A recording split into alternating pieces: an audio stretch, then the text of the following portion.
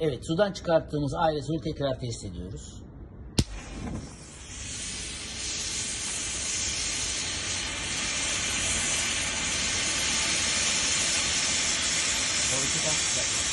E, bununla da bir şeyle.